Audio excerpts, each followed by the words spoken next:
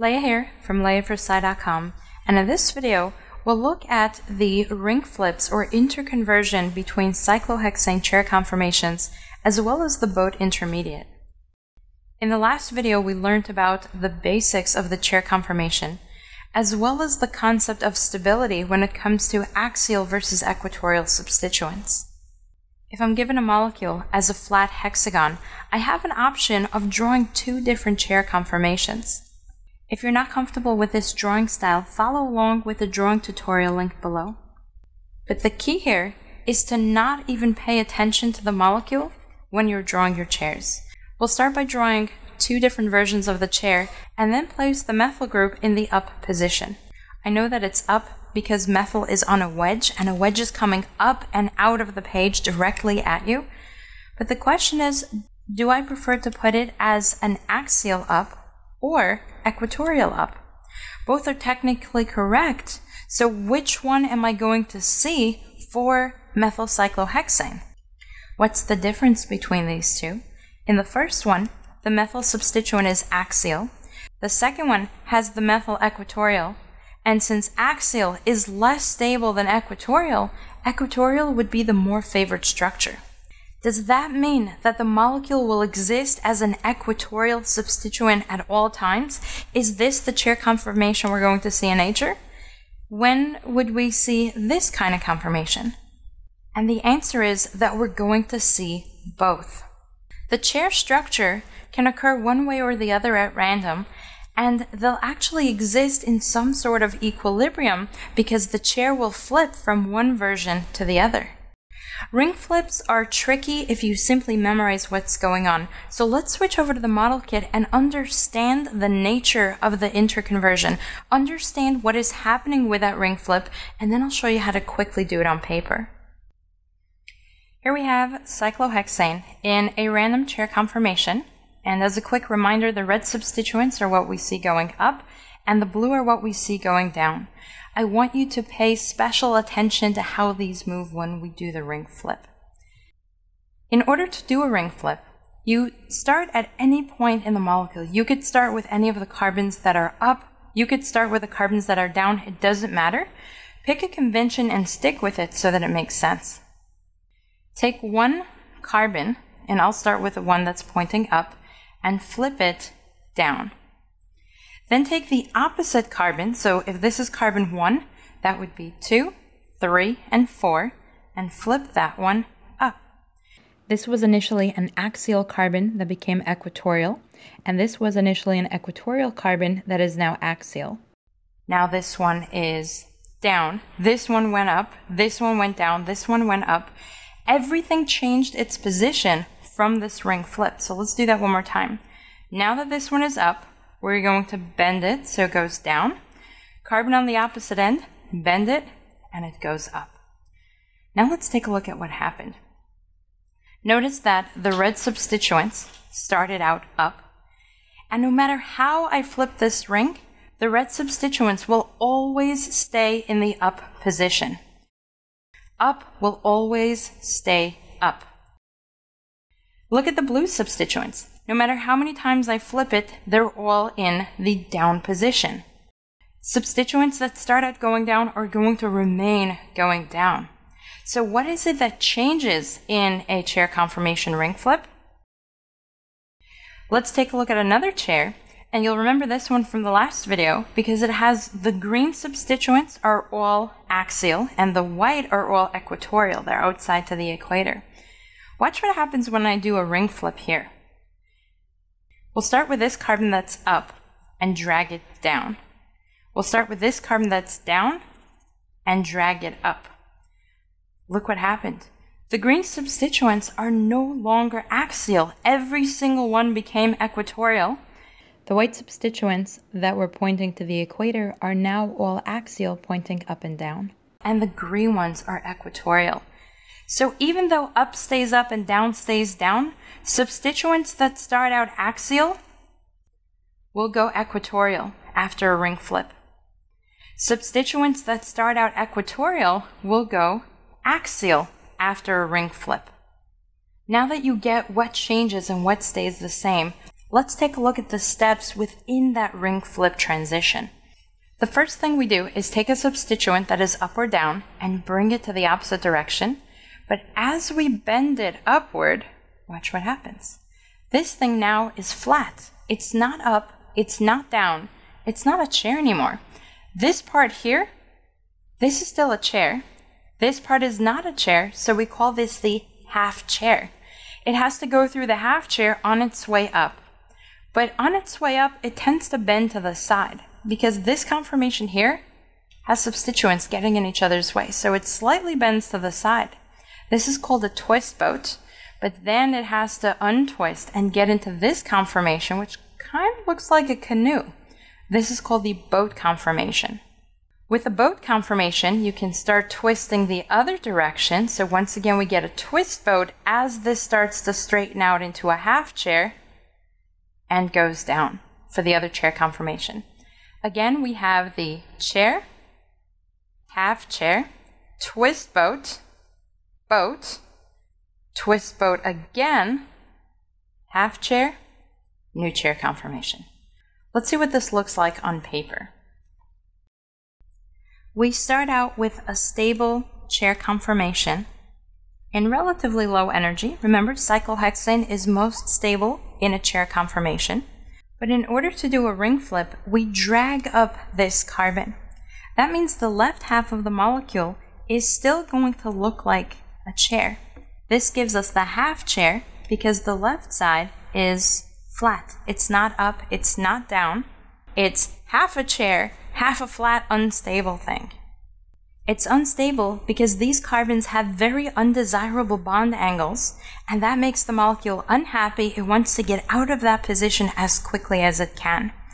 In transitioning to a boat conformation, we have a twist boat, which is somewhat tricky to draw, but you basically do an X and then add the two terminal carbons. So these two lines, that means these four carbons, are represented here on the X, and then these two carbons would be these two. The twist boat is more stable than the boat because the two hydrogens that were facing each other on the boat conformation are not as close as the boat itself, but it's still relatively unstable. So we'll draw it lower than the half chair, but definitely higher than the chair, which is the most stable structure. In order to transition into the other version of the chair, we have to undergo the unstable boat conformation, which starts to look like a chair again, except that both sides have their substituents facing up. If we redraw it like this, you can start to envision a canoe or a boat. Why are boat conformations so much less stable than chairs? Well, look at what we have here. Most of the carbons seem pretty happy, the bond angles look pretty good. But at the very top of the boat, these two carbons here, we have hydrogen atoms that are very close to each other. These are called the flagpole hydrogens. And they're kind of getting in each other's space. When atoms get too close to each other, when they invade personal space, it's considered very, very unstable. This is why you get the twist boat, because the flagpole hydrogens want to go away from each other. It's not as visible here, but take a look from the top. They're very close to each other, very unstable. Twist the boat, and now they have some space. Twist the boat, they have some space. This is what makes them more stable, but ultimately the molecule is waiting for this. When you go into a full chair conformation, everything is relatively far away and so much more stable.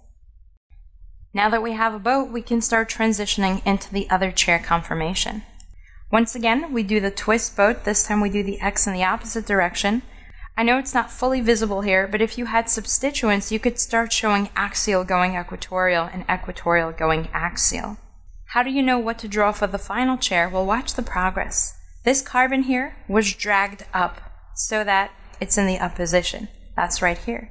That means we have to start dragging this carbon, this carbon, down. So, we redraw the chair as we saw initially, but now the carbon on the right is in the up position. The carbon on the left that is on its way down is now planar, and this gives us another half chair, which allows us to continue dragging that carbon all the way down for that final and very stable opposite chair conformation. Why did I draw them this way on the screen?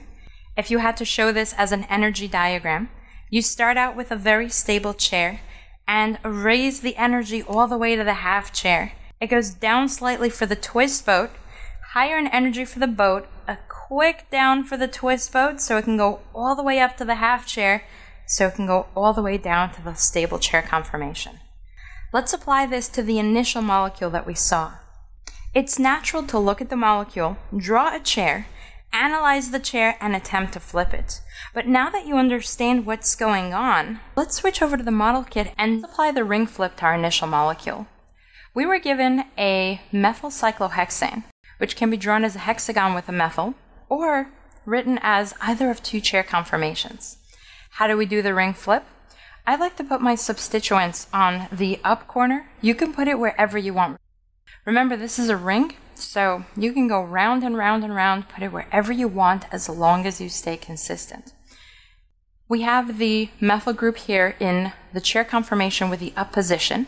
So we simply take that methyl, drag it down, take the other end of the chair, and drag it up.